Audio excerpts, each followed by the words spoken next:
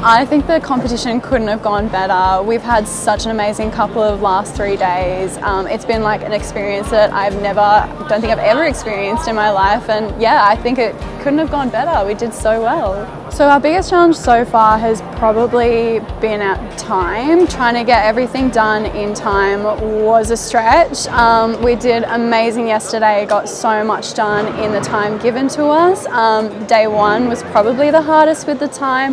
Getting that research in was quite difficult and pulling like all our brain cells together to come up with this concept was also quite difficult, but we did get there in the end. So the impact that World Skills has had on me and my career is definitely sending me in the direction that I want to go. This is like such an amazing opportunity that looks good in my resume and looks good, you know, in the industry as well. Being a part of that would just be absolutely incredible. Um, so making the finals and representing Australia internationally would be the most incredible opportunity I think I've ever had in my life. Like representing Australia in visual merchandising is just something I would be so excited to do and so passionate about. And definitely just being out there like the experience like in China it's just something that yeah really excites me. I definitely hope that we, we get there get out there